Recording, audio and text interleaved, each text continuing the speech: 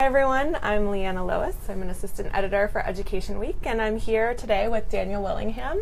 Uh, Dan is a professor of psychology at the University of Virginia, where we are today, and he spends most of his time researching the ways that cognitive psychology can apply to K 16 education.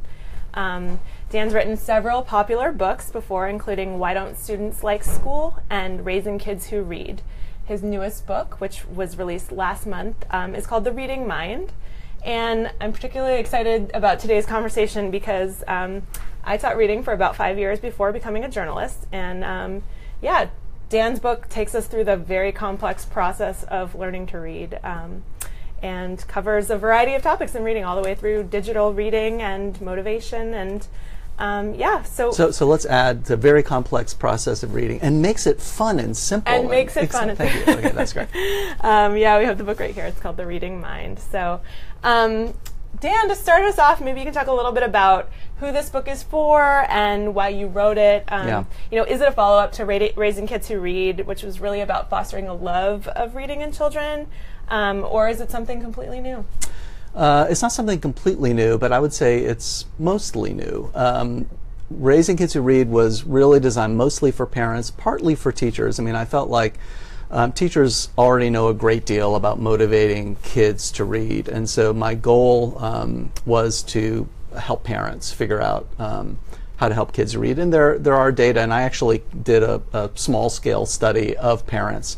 Um, uh, showing that parents are really excited about uh, their children reading, that that's a leisure activity they're really excited about, but they don't really have very good ideas about how to make that happen. So that's what that book was about. This book is really designed for teachers and also uh, in service teachers and also pre service teachers to help them understand what's happening in the mind as they uh, as children read. Uh, and in fact, it's the way it's pitched, it's more about um, how and what's happening in the mind of an experienced reader. So, sort of what the what the goal is if you are a teacher teaching a child to read, um, and in some ways, what the goal is with with more advanced students too. So, a student who's a really really proficient reader and really uh, good with reading comprehension. And it's not so much that you prescribe pedagogy in the book; it's more an explanation of what's going on. Exactly. Right? Yeah. It's it's not so much like at all do I prescribe pedagogy. It's very much sort of what's happening in the mind when when uh, people read. Yeah. In the beginning, you talk um, of the book. You talk, uh, you know, about why it's important to understand writing in order yeah. to understand reading. Can you t- take us back to, to you know talk about the foundational processes of reading and and how writing plays in? Tell us why what you need to know about writing to really understand reading. Yeah, so it, it does seem like a funny place to start, to start um, uh, not with the process that I claim I'm going to try and explain, reading, but instead start with writing. But this is pretty typical of the way cognitive psychologists deal with problems. They figure here we've got the mind that is doing something. A very effective way to begin an explanation, to sort of find some toehold in a very complicated process, is to come up with a really good description of what the process is achieving. What is the goal here? So before you start trying to explain the mechanism, make sure you know what the mechanism is is actually doing. Uh, so in the case of reading, we start with writing because looking at reading is basically a process of making sense of writing. Right. So let's examine writing a little bit so that we feel like we've got a good description of what writing is. That'll put us in a better position to say, okay, well, if reading is figuring out what's on the page in writing, let's make sure we know what writing is. Uh, so that takes us to the idea that what when, when, we think about what the goal of writing is, the goal of writing is really to communicate thought. Um, sometimes it's to myself, where I've you know, want to make sure I remember to do something later, so I make myself a little note. Sometimes uh, it's to communicate with you, so I write you a little note. I'm trying to communicate my thoughts either to myself at a future time or to you. Um, and uh, so we speculate, and in fact, there's there's good evidence that the initial writing systems tried to record thoughts very directly. Uh, but it turns out that there's a real limitation in trying to do that. Uh, one of the biggest limitations is an obvious one is that it's hard to capture proper names. What like if you know how, how if I want to write Dan and I'm just sort of writing down thoughts, what's what's the the, the symbol for that going to be? But the much bigger problem is uh, capturing grammar. Uh, so in in order to uh, be able to write down thoughts, I want to not only be able to say um, Dan walks to the store. I want to be able to say Dan walked to the store. I want to be able to do counterfactuals like if Dan were to walk to the store and so forth. So all of that is the machinery of grammar, and the machinery of grammar is really complex. It's one of those things like riding a bicycle that we're able to do, but we're not really able to describe how we do it. So the uh, strong speculation is that back in the day when people were first uh, designing writing systems, they probably tried to come up with little symbols. I mean, the first thing you would think of is, well, that doesn't sound so complicated. So, like, if you want to indicate past tense, like you put a little circle around it or something like that. An arrow back. An arrow back. That's much better than yeah. the circle. Yeah. Um, but that you quickly run into trouble and you realize that's you know your own knowledge of how grammar really works is limited. Again it's like riding a bicycle. We can do it. We just can't describe how we're doing it very well. So the solution instead is instead of recording and writing what you're thinking record and writing what you would say. Uh, and so that's the key is that uh, this shows us that um, english uh, is a sound based writing system. And in fact, throughout the world, all writing systems are sound based writing systems to varying extents. Um, I love I love how you talk about the idea of the purpose of writing is to communicate thought across time and space, so that I can understand what you know what John Adams was thinking because of yeah. writing. Um, I think it's a simple way. Pro- probably students um, would be you know if you can exp- something you can explain to students very easily and um, but yeah, that's that's what we write for, I guess. And um, it is, yeah, I love that too. That yeah. it is really mind-boggling. Read, sort of reading Simple. some and th- yeah, yeah, and thinking that's what they were thinking centuries ago. Exactly. Um, so you, you, have a chapter on uh, vocabulary, and you explain that we store words not not as like a dictionary and with a dictionary definition, but really in relationship to one another. Um, you talk about you know how if you conjure the word watermelon, you're also activating words like red and fruit and juicy and vine, um, and that each of those words sort of activates other words. Right. It's a really different way of thinking about how we learn words and how we conjure words. You know, what does this representation mean for how we teach or how we should teach vocabulary? Great question. Um, so, yeah, what uh, the way I would put this um, feature of vocabulary is that it's very, very sensitive to context. So, an obvious uh, example would be something like the word heavy, which is the example I use in the book. The word heavy means something very different when you're talking about a heavy watermelon compared to a heavy adult. 50 pounds is a very heavy watermelon, 50 pounds is not a very heavy adult. So, the word heavy is very context dependent, context specific. Um, it means something different depending on what it's uh, uh, what it's being applied to. But even a word that seems very concrete, like watermelon, there are actually different features of watermelon that will also be more or less important depending on context. So the example I use in the book for that idea is actually not watermelon, it's spill. So I use the example um, Trisha spilled her cup of coffee, Dan jumped up to get a rag. So when I, when I have those two sentences, the feature of spill that you think of is there's a particular feature of spill, which is spills make a mess. But if I had said Trisha spilled her coffee, Dan jumped up to get her more, now you're not thinking about mess, you're thinking about the fact that if you spill something, you have less of it than, than you did before. Um, and we can think of lots of other examples. Trisha spilled her coffee. Dan, uh, uh, Dan said that's the last time I put brandy in your coffee, right? we can, uh, you know, there are lots and lots of features. So again, even a relatively simple word like spill has these different shades of meaning. This relates to the teaching of vocabulary because it helps us understand why students use words in not quite the right way when they're trying to use new words. So they'll know I'm supposed to vary my vocabulary. They'll look a word up in a thesaurus. They'll then, you know, if they're really um, enterprising, they'll look it up in a dictionary and they'll get a definition. But definitions in dictionaries necessarily are context free. That's what you have to shoot for if you're a dictionary.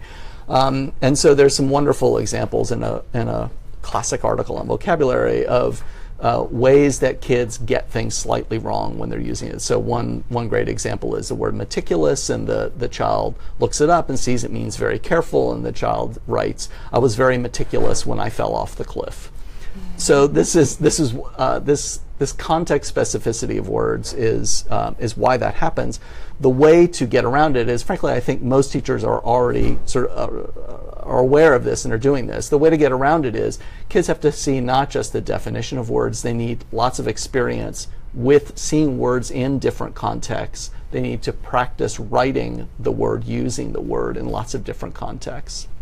Uh, if you're just tuning in, uh, I'm Liana Loewus. I'm an assistant editor for Education Week, and I'm here with Daniel Willingham. He's a professor of psychology at UVA. We're talking about his newest book um, called The Reading Mind. And um, so, at one point in the book, you talk about um, rewards for reading, and you say that um, offering rewards can actually make a student's reading attitude worse. What tell us the research behind that and what that means for classrooms?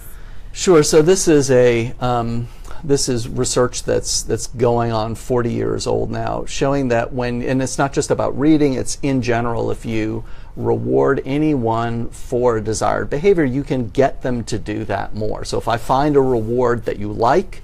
Um, and I give it to you promptly when you do what uh, what it is I want you to do, you are more likely to do that re- reward. The real concern is what's going to happen when the rewards stop. Um, and so unless we're prepared to, you know, give kids packets of M&Ms every time they read sort of forevermore, at some point the, the rewards are going to stop. And the concern is that uh, there's a change in the way I think about why I have been reading all along. Namely, that I'll think, well, I, I've been reading because I was rewarded to do that. Now there's no reward, so why would I read? And the there is there is a lot of uh, experimental evidence indicating this is a real thing. This really happens in classrooms. So it is it is a real uh, it is a real concern. I'm a little less dogmatic about it than than some people are. I wouldn't say never ever use rewards. I would say maybe it's not the first thing that you want to try.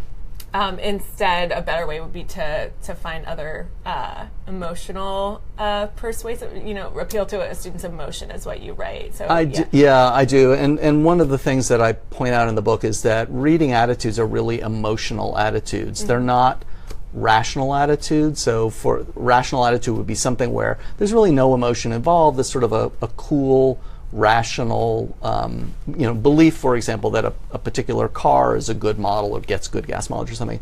Emotion is sort of what emotional attitudes are what we think about for example eating broccoli versus eating ice cream or something. It's sort of how we feel about things. And that's the type of attitude that um, that a uh, that a child's attitude towards reading is like um, so yeah, that's what we're that's what we're going for, and it, it's obviously a very difficult problem for teachers. I mean, especially if a child's had lots of ex- reading experiences before. That's where this attitude comes from. My attitude towards broccoli comes from the fact that I've had broccoli before and I never liked it. Um, so if you've got a sixth grade student who's had lots of reading experiences, never liked them, it is it is a challenging problem. And I think some of the things are um, probably quite familiar to teachers. This is another instance where having a really good relationship with a child is really important. Showing yourself sort of that you love reading, modeling enthusiasm for reading. Um, I'm definitely a fan of um, offering choice if the curriculum allows it at all, so that you know you can try and maximize the possibility the child will have a good experience with it.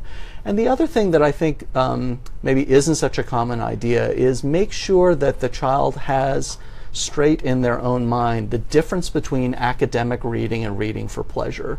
Mm-hmm. Most of what children do in school is difficult work, right? Mm-hmm. Things that are called reading, it's hard. They're mm-hmm. asked to read texts that are pretty challenging for them. They're asked to do difficult work with that text. Um, and you know you're not supposed to quit if you don't like it. Um, but reading for pleasure, like you can peek at the back if you want to. You can stop reading the book if you're not enjoying it. You can skip around. All those things. And so I think it's useful to be sure that kids really have that straight in their mind that the rules are really different here when I'm reading for pleasure. Mm-hmm. Um, it, toward the end of the book, you talk about digital reading, and we know a lot of kids these days are reading on ebooks. They're Yeah. reading reading on iPads. They're reading on laptops. Um, on their phones. You know, everyone is. Um, but you also say the the research, the the data shows. You know, it, it's unclear whether uh, digital reading is any better than print reading Yeah. or how they compare. I mean, why you say the data are all over the place? Why is that? And what do we know for sure about digital reading? So there are different um, there are different types of digital books that, that kids are exposed to, and the, in some cases the data are, as you say, over the all over the place. In other cases, they're fairly consistent. So when we're talking about pre-readers um, reading store interactive books, So like uh, an it- iPad and yeah, on an like- iPad or yeah. something like that. Yeah, where you sort of touch something and then it spells it out, or it makes a it makes a, an animal sound or whatever it is. The data are really all over the place there, and data being sort of outcome measures that people care about are things like phonemic awareness, Mm-hmm. awareness of letters. Um, there, the data are are pretty confusing, and I'll say more about that in a moment. When we talk about people reading on their Kindles, the kind of stuff that you and I would read for pleasure, uh, the data are fairly consistent, which is reading is mostly comparable to what reading would look like. Now the data are just straight comprehension, uh, whether or not you understood the story. The data are mostly comparable to what you would see in print. Probably a little bit of a hit when you're reading on your Kindle, but not enough that people really care about it. So you might understand a little bit less or remember a little bit less Yeah. if you're reading on on a um, an ebook or Kindle. Or Yeah, and and would you know you, you know yeah you imagine me quizzing and you and you would be like you know what I still figured out who done it in the mystery and like okay so I didn't remember that her dress was blue who really cares right so not a big deal. Uh, the third type is a bigger deal, and that's uh, digital textbooks. And electronic textbooks, there's been a lot of research on that. What we find is um, the majority of students don't like them. Even if they've got a lot of experience with ebooks, they would rather work on paper, and they find them a little bit frustrating. The difference is electronic textbooks you're reading compared to reading on your Kindle, the content you're reading is more difficult, it's structured differently, you're reading it for the purpose of memorization, you're studying for a test or something rather than just you know reading on an airplane. Mm-hmm. So I think that the common thread through all of these mm-hmm. is that there are design decisions that software engineers make when they set up these electronic books. They're deciding where are we if we're going to integrate a video, where is it going to be? What do you have to do to press the you know to, to get the video started? Well, how are the pages going to be set up? All that sort of stuff. Um, and those decisions are not really research based. They're software engineers who are doing it based on their intuition of what looks good and what seems sensible. And I think the data are all over the place because in some cases they are by chance making lots of decisions that add up to you know a little bit of a boost to reading comprehension. And in other cases it's a little bit of a knock to reading comprehension. And all of those combine into the experience that students end up with. So when you ask what is what is the one thing we know the one thing we know is that this is more complicated than we were hoping it would be that um, it would seem that um, something like, well, if you integrate video, it's going to make it more interesting. If you uh, allow quizzes in a textbook, kids can figure out on the fly whether or not they're understanding. Um, and it sounds like all of those advantages sort of can't help but be useful, and there's no way to implement them badly. And the one thing we know is there are ways to implement them badly. So it's complicated. is- It's complicated. yeah, that's a really fun conclusion, but that's about where we Well, are. yeah. Dan, it's always good talking to you. Yeah. Thank you so much. Thanks to everyone online who joined us. And uh, yeah, come back soon. yeah.